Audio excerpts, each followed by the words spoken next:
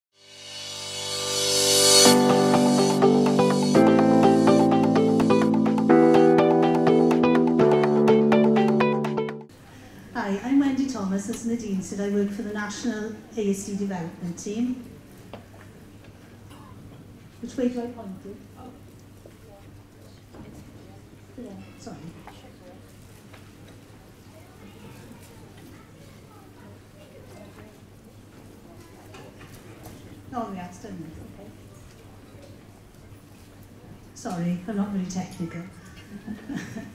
the, um, a lot of people were our stall in the hall, the National Autism Development Team was set up. And it, originally it was quite a small team. It was set up when um, the Welsh Government first launched their, into their autism strategy in Wales in 2008. And there were development officers in South East, South West and North Wales that were looking at the implementation of the strategy. And from that, the autism development team was um, developed and their role primarily was raising awareness of autism and developing resources. And she said, your stall is up in the main hall, there's lots of resources there, and the first thing I want to say right at the start is all the resources are free, so everybody can download them or take copies, they're free. At the moment, there's been a slight change in the regional, um, in the national team. At the moment, there are two interim leads. I'm the professional lead, and the strategic lead Sarah Harvey, and under that we've got development officers and we've got regional support officers and the admin officer. so, just for So with the, um, the main thing with the development team is the development of the website with all the resources because the ethos behind the team is about improving the lives of autistic people and their families in Wales And a part of that is about raising awareness, understanding, and improving um, settings and things where autistic people are. So the Growing with Autism is the first one. It's for parents and carers and children. And if you go to the Growing with Autism part of the website, there's a whole range of things there that all parents and carers can um, download. There's a guide and um, advice sheets. There's visual planners. There's a child's personal planner and there's a DVD, and there's all different issues on that. There's a, an, an introduction to autism, and then there's things like planning and activity, managing behaviour. So if you go onto the website and have a look at any of those, if you wanted hard copies of anything, then if you email us, then we will send copies out to people. We are in the middle of developing further resources as well, and we're actually doing another parent carer DVD and updating the guide at the moment and the new DVD is very much about the voice of autistic people and the voice of parents and carers. So we've been, last week we were in Carmarthen in Excel Bowling and we had a session there with parents and carers and they were just being interviewed about their experience, about post-diagnosis, what's helped, what's barriers and any issues with them. And we got some brilliant clips of some autistic young people just saying it like it is and they're absolutely brilliant. So when that's launched, it, that will be on the website as well. So we've got, with the Growing with Autism, we've got um, different resources. These are tied in with our Learning with Autism scheme, which is aimed at um, education settings. We've got it early years, primary and secondary school. And Tyvee the Duck was a personal favourite of mine, I like Tyvee. Tidy the Duck is the preschool settings, and that's a DVD and it's a story of different um, different little adventures Tidy has with his friends. And the word autism is never used in the DVD. It's about Tyvee gets upset if there's lots of crowds, if he can't get involved, if he doesn't want to be with the other children. It's just getting children that are under five to go have an idea about being different and it's okay to be different and how you can help people if they're feeling sad or upset, what you can do to help them. And as part of that scheme then, there's training for the staff in the setting so they have a much better understanding of autism awareness and they've got some um, lesson plans that they can do with the children. And then in the primary school, it's a whole school approach. So what happens is the ladies, the lunchtime supervisors, the lady on reception, everybody does autism awareness. And then the teachers have sessions that are particularly around the um, teaching staff. And as part of that, we've got the Autism Superhero Scheme, which is aimed at the pupils. So the pupils themselves would do that. And it's about having an understanding that they are there to help other people and about children with autism, you know, how to be their friend and how to help them in, in school. And as part of that, we've got the Cariocini campaign. And it's about, as I said, it's about raising awareness, it's about understanding that autism is often seen, is described as an invisible disability. And feedback that we had from parent carers and autistic adults was that they felt that people didn't often understand. If you had a meltdown in, uh, if you had a meltdown or your child had a meltdown, quite often felt they were being judged, that people just didn't understand. It could be a sensory issue. It could be that the thing that you'd gone into the shop to buy that day wasn't there, and that was the final straw, and that was the final straw why the, the uh, meltdown happened. So as part of that, there's, we've got a campaign that's aimed at raising awareness in the community. So it's aimed at shops, cafes, supermarkets, doctor surgeries, everywhere anybody goes. What we want to promote is that people have an understanding of autism. And as part of that, what parent carers and adults said, autistic adults said, is they wanted something so people could recognise that they actually were autistic, that they didn't have to keep explaining it. So that's where the wristbands and the cards came from. And we've got, um, I can't think the name, Harriet, lanyards, my word for it, that um, we've got packs up in uh, on the on our stall and it explains the scheme but there's wristbands there's different ages we've got children's young people and adults and the cards lots of adults like the cards because it just fits into their wallet it's purely voluntary people don't have to do it but a lot of people said that's you know they find it really helpful and then you've got the poster is the one that the settings display so once you've done the training with the, the cafe or the shop then all the staff would have done that training. They'd go onto our website, because there's um, ASD awareness training on the website, and then they would have, once they completed that, they'd have a certificate just to say they're aware, they're not an expert in autism, they're not suddenly, you know, as if they've done a PhD in autism, they've just got an, a better understanding of it. And so that's displayed in a shop. If you go into a shop and they have that poster there, then that shop is saying that they're autism friendly. If when you go somewhere, you go somewhere and you find that it's not, please let us know. Because that's what we want to do. We want to promote the scheme, but we want to make sure it's being operated properly as well. So if you go somewhere and actually, you know, the lighting is awful, there's really loud music, and you ask somebody to turn it down and they're really difficult about it, then we would want to do something about that what does it say as say is well, if anybody wants to get involved in the Can You See Me campaign, if they let us know, if you email us, because we're GDPR, and a bit neurotic about taking anybody's details for anything. So if you email us at the ASD for website and let us know you'd want to be involved, that we can, you know, link in with you in the area you're in. Oh, sorry. On, on, on the website then, for autistic adults, we've got the Living with Autism scheme.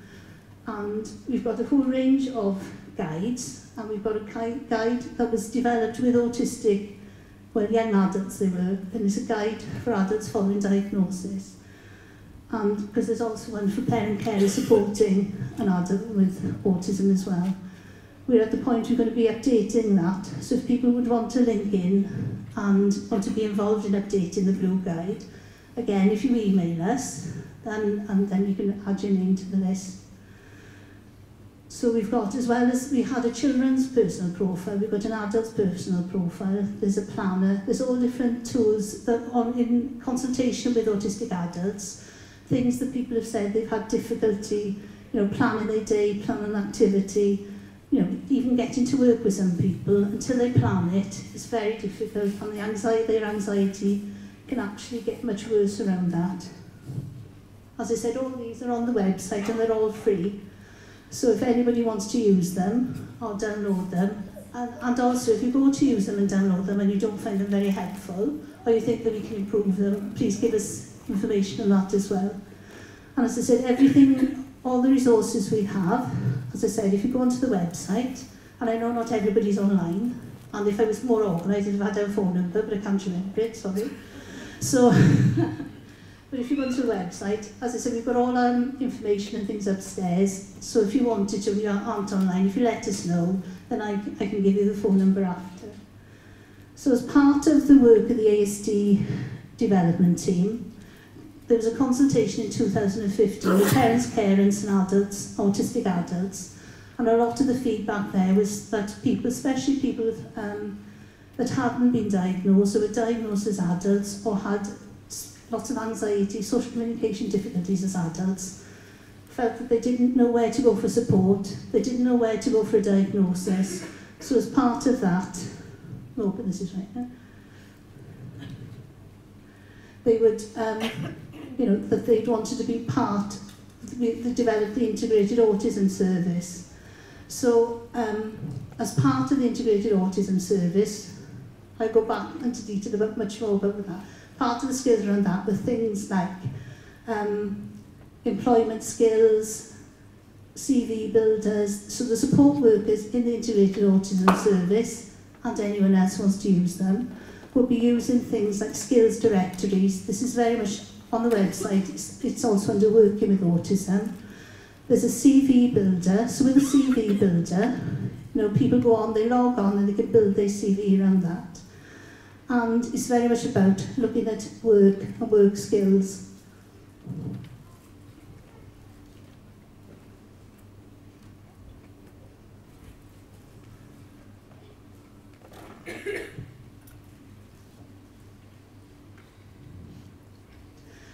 So the Learning with Autism survey um, resources, as we said, there's the, uh, there's the primary, sorry,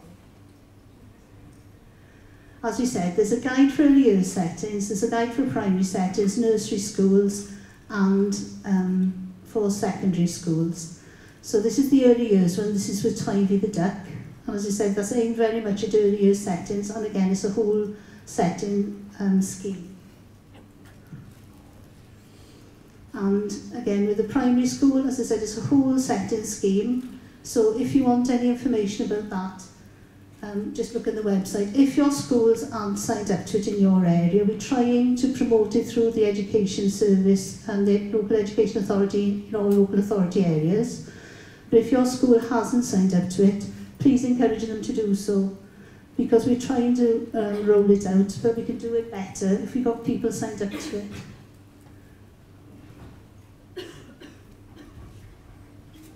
And again, the secondary school one, that was launched last September, so that's just in the rollout.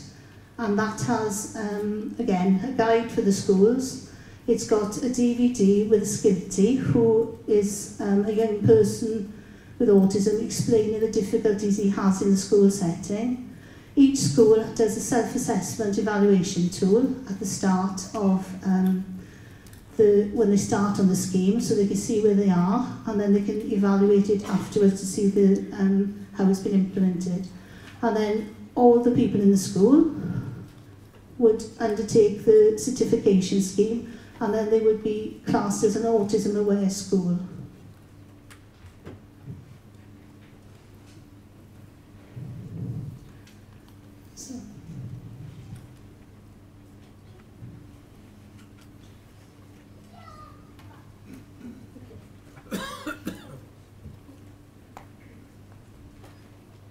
there's a whole other range of things for health, social care and practitioners on the website. I'd encourage everybody just to go on and have a look what's on there.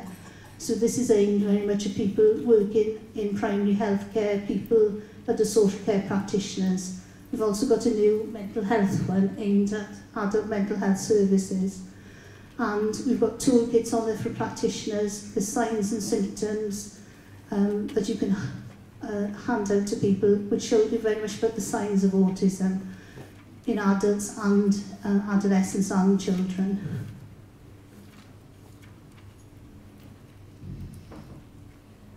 How to get hope oh, on. Again, um, as I said, I mentioned earlier the Integrated Autism Service about the adult um, resources in each area in Wales, as I said, following on for the, the um, consultation in 2000 and 15. Welsh Government have funded an integrated autism service in each um, health board area. So there are seven proposed in Wales. There are four that are already up and running, and there are three others in various stages of development.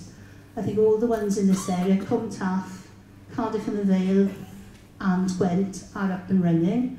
And the service has two elements really. Part of it is around adult diagnosis, so it's diagnosis for people who aren't um, in, in LinkedIn with mental health, adult mental health services or don't have a, a, a severe learning disability. So with the um, so that's part of the service. The other part of the service then is post-diagnostic support and training. So I think we've got we've had people from the integrated autism services on the store all day and there's some in the audience and would embarrass them by making them stand up even though I told them earlier I was going to. But if you want to find out more about the Integrated Autism Services, then um, so if you can see the people in the hall, they're from Gwent and from I think it's from Cardiff and there at the moment. But if you want to know more about the Integrated Autism Service, there is a section on the ASDM for Worse website. And um, the, as I said, they are in development and they're very early on in the process. So I think in some areas, as I said, they're only just being set up. There are other people in the hall, in the newly set up ones, not done credit yet, but I won't ask them to put their hands up. But um, the, the aim of the, the project really is around support, training, information, and again, about the diagnosis. So the support is very much around parent carers and autistic adults. And Um, it, isn't a, it isn't a service that works directly with children. It's, as I said, it's primarily around support and information. So the support can be in various ways, but it's short term, well, shorter term, it isn't a service that's meant to be a caseload. It isn't meant to be a service that once you're on that service, you're on it forever. It's meant to be that you, you can go to that service for advice, for help with specific issues and it's a service you can actually access, you know, once you've been there, doesn't mean you can't go there again. So if you have other issues, then you can go and get advice from there. And I know in some areas, like in Gwent, I know they, they have drop-ins. So people can drop in if, they, if they've got an issue that they want to have more information about. You don't have to make um, an appointment. You can just drop in. And if you look, I think Gwent, Gwent have got a website, haven't you? I don't, have come to one yet. Or, Taff haven't got one yet, Bruno Gwent have, and I think Cardiff and the Vale have got their websites. So you want to know more about those areas, if you're from that area, then I would encourage you to look on that because it tells you all about the services you can access and about all the, and about the training that's available and about the drop-in sessions. For the other areas, um, Powers is uh, up and running, so that you can access that if you obviously feeling you're Powers. North Wales, West Wales are fully staffed and are ready to be launched and Western Bay, for people who don't know there, that's Swansea, but all the Regend, that will be coming on as the final one. So hopefully that means that we're going to be supporting an awful lot more autistic adults